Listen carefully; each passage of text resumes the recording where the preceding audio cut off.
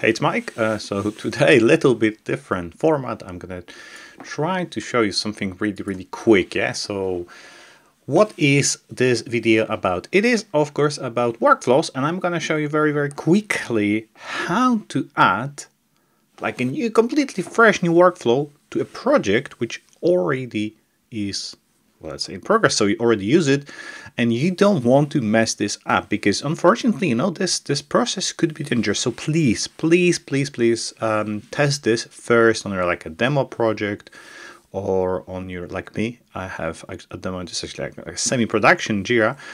But if you do not have, of course, sign up for Jira. So I'm going to show you how to do it in like so in just literally in, in, in less than three minutes.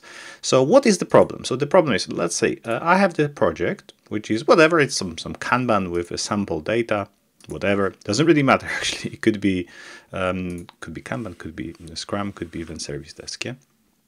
So as you can actually see, come on, show me, hey, we've got a few tickets, absolutely fine. However, the issue is we have only one workflow. So I would like to add additional workflow. It doesn't matter if it's uh, in my case, it's going to be subtasks, yeah, but in your case, could be epic, could be initiatives, or complete, something completely, completely different. Doesn't absolutely matter. Yeah, the process is actually, actually the same. So we need to navigate, of course, to the project settings. So we are inside the project. Oh, and by the way, uh, it, it, needs to be, of course, uh, not the next gen. I still call it next gen. So like they call it team manage, I think. So it needs to be with company comp company manager, I think. Yep. So that like the classic one, the classic one, because I am not even sure if it's possible to do it in, in Team Manager. Okay, so let's go to projects, navigate very, very quickly to our workflows. Yeah, workflows, where they are, where they are, details.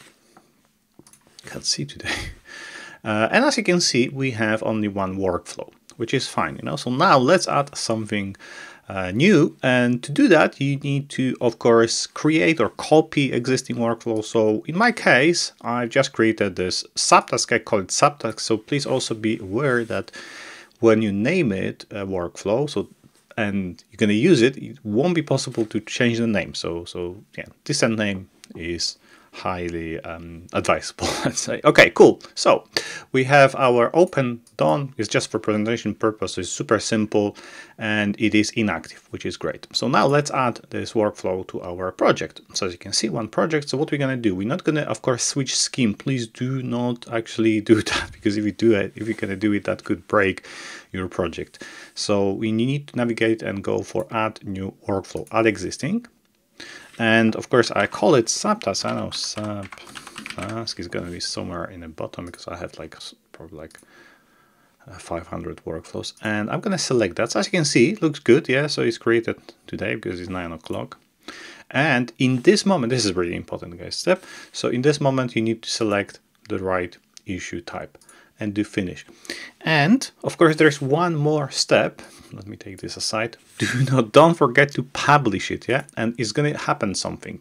So normally, because I already have some subtasks, it's gonna ask me to remap it. Very important step, and that is that that dangerous step what I, what I told you. Because obviously, if you do it, let's say in a wrong order, you have to probably do it manually, like revert that changes. So I'm gonna because it's my it's, it's demo, so I don't really care too much. And, and let's say I'm gonna basically have open and done, and that's it. I'm gonna associate, yeah. And it's it is only 19 ticket in my case, which is not too much.